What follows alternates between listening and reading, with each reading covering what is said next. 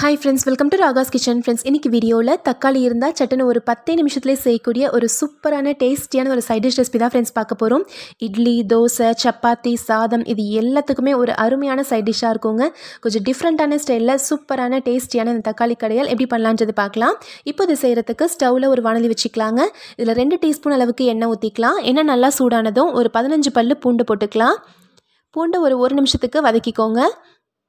இப்போ இது கூட காரத்துக்கு தேவையான அளவுக்கு பச்சை மிளகாய் சேர்த்துக்கலாங்க. நான் ஒரு ஆறு மிளகாய் எடுத்திருக்கேன். உங்கள் காரத்துக்கு தகுந்த மாதிரி நீங்கள் எடுத்துக்கோங்க. இது ரொம்பவே நல்லா காரமாக இருக்கும். அதனால் நான் ஆறு மிளகாய் மட்டும்தான் நான் சேர்த்துருக்கேன். உங்கள் காரத்துக்கு ஏற்ற மாதிரி நீங்கள் சேர்த்துக்கோங்க. பச்சை மிளகாயை சேர்த்துட்டு ஒரு ஒரு நிமிஷத்துக்கிட்ட இதை வதக்கிட்டு இது கூட ஒரு டீஸ்பூன் அளவுக்கு சீரகம் போட்டுக்கலாம். இப்போ இது கூடவே கொஞ்சமாக கருவேப்பிலையும் சேர்த்துக்கோங்க.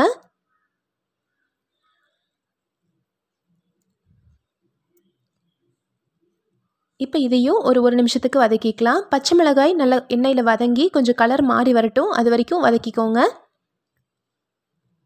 இப்போ பாருங்கள் பச்சை மிளகாய் எல்லாமே கொஞ்சம் லைட்டாக கலர் மாறி வருது. இந்த டிஷ்ஷுக்கு பச்சை மிளகாயோட டேஸ்ட்டு தாங்க ரொம்பவே நல்லாயிருக்கும் பச்சை மிளகாய் பதிலாக வரமிளகாய் சேர்த்துக்கலாமான்னா சேர்த்துக்கலாம். ஆனால் பச்சை மிளகாயில் செய்யும்போது அசல் சுவை தெரியுங்க. நல்லா சூப்பராக இருக்கும்.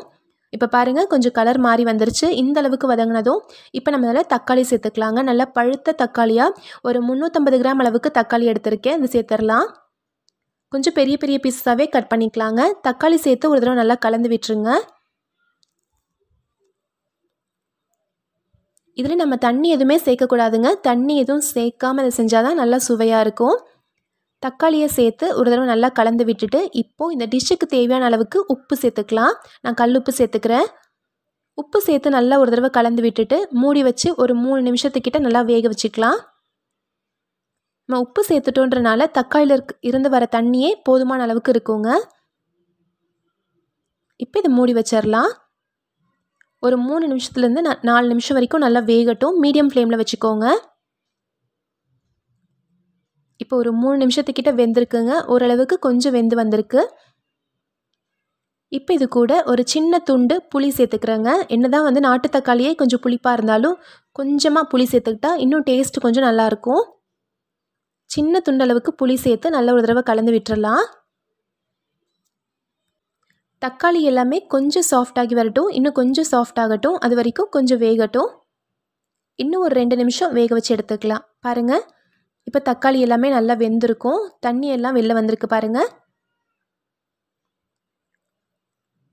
இந்த அளவுக்கு தக்காளி வெந்ததும் நம்ம இப்போ ஸ்டவ் ஆஃப் பண்ணிடலாம் ஸ்டவ் ஆஃப் பண்ணிவிட்டு இது நல்லா சூடு ஆறட்டும். இப்போ நான் ஸ்டவ்லேருந்து இறக்கி வச்சிடுறேங்க. இது நல்லா சூடு ஆறினதுக்கு அப்புறமா நம்ம மிக்சி ஜாரில் மாற்றிக்கலாம் இப்போ பாருங்கள் பூண்டு எல்லாமே வெந்திருக்கு. ரொம்ப வந்து வேகக்கூடாது. பூண்டு எல்லாமே ஒரு எழுபது பர்சன்டேஜ் அளவுக்கு வெந்திருந்தாவே போதும். இப்போ இதை இறக்கி வச்சாச்சு சூடு நல்லா ஆறிடுச்சு இப்போ இது எல்லாத்தையும் மிக்சி ஜாருக்கு மாற்றிக்கலாம் இப்போ மிக்சியில் போட்டு ரொம்ப நைஸாக அரைக்கக்கூடாதுங்க. ஜஸ்ட்டு பல்ஸில் ஒரு ரெண்டு மூணு தடவை விட்டு எடுத்துக்கோங்க. அதாவது எப்பயும் ஒன் டூ த்ரீ ஸ்பீடில் விற்போம் பார்த்தீங்களா அதுக்கு ஆப்போசிட் சைடில் ஒரு ரெண்டு மூணு தடவை மட்டும் விட்டு எடுத்துக்கோங்க போதும். ரொம்ப நைஸாக அரைச்சிடக்கூடாதுங்க. இந்த மாதிரி அரைச்சிக்கோங்க அப்போ தான் அது சுவையாக இருக்கும். பாருங்கள் இந்தளவுக்கு அரைப்பட்டாலே போதும். இப்போ இந்த அளவுக்கு அரைப்பட்டதும் இப்போ இது கூட பொடியாக நறுக்கின கொத்தமல்லி தலை பொடியாக நறுக்கின பெரிய வெங்காயம் கொஞ்சம் சேர்த்துக்கலாம். இது ரெண்டுமே பச்சையாக நம்ம சேர்க்கும்போது அதோட சுவை வந்து சூப்பராக இருக்குங்க. நம்ம சாதத்தில் போட்டு சாப்பிடும்போது அந்த பச்சை வெங்காயத்தோடைய டே டேஸ்ட்டு கொத்தமல்லியோடைய டேஸ்ட் எல்லாமே ரொம்ப அருமையாக இருக்கும். இது ரெண்டையும் சேர்த்து நல்லா ஒரு தடவை கலந்து விட்டுறலாம். அவ்வளோதாங்க டிஃப்ரெண்ட்டான ஸ்டைலில் நல்ல சூப்பரான தக்காளி கடையில் ரெடி ஆயிடுச்சு இந்த மாதிரி ட்ரை பண்ணி பாருங்கள் ரொம்பவே உங்களுக்கு பிடிச்சிருக்கும். இந்த டிஷ்க்கு நம்ம தாளிக்கணுன்ற அவசியம் இல்லைங்க. இதை நம்ம அப்படியே சர்வ் பண்ணிடலாம் இட்லிக்கு தோசைக்கு சப்பாத்திக்கு வச்சு சாப்பிடும்போது ரொம்பவே டேஸ்டியாக இருக்குங்க. சாதத்தில் போட்டு பிசைஞ்சு சாப்பிடும்போதும் ரொம்பவே சுவையாக இருக்கும். நீங்கள் எப்போ சர்வ் பண்ணுறீங்களோ அப்போ பச்சை வெங்காயத்தை கட் பண்ணி போட்டு நீங்கள் வந்து மிக்ஸ் பண்ணி விட்டுக்கோங்க.